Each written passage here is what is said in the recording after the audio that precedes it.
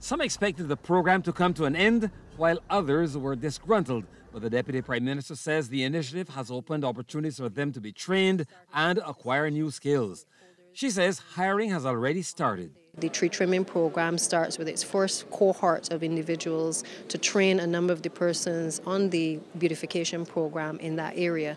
Other programs will be rolled out over the course of the next week or two um, and will be rolled out over the course of the next few months. And we've therefore encouraged persons to um, take advantage of the opportunities being presented to them because this is totally unprecedented. It has never happened in the history of Barbados where we have ended a program, but we have taken the time to look at the skill set and to give people career guidance as to what it is that they may want to do with their futures as well. The Deputy Prime Minister says the recall for some of the workers will be as entrepreneurs. It is our intention that we can hire back these persons to be able to do, especially in the MTW, to be able to do things like tree trimming, a lot of the core competencies that are needed within the ministry.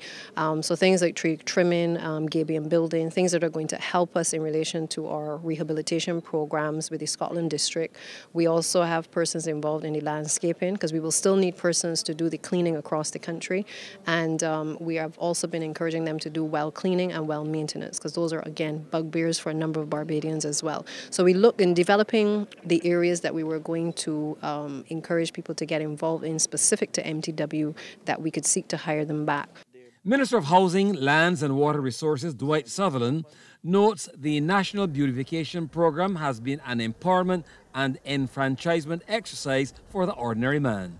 No government in the history of this country from 1937 has ever done such a program to empower close to 2,000 workers so that they can come back and become contractors, ordinary people, contractors, businessmen, businesswomen, and allow the construction sector to fill a void that is real at this time.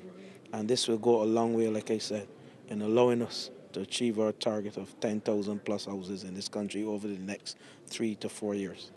The National Beautification Program cost government $54 million. Trevor Thorpe, CBC News.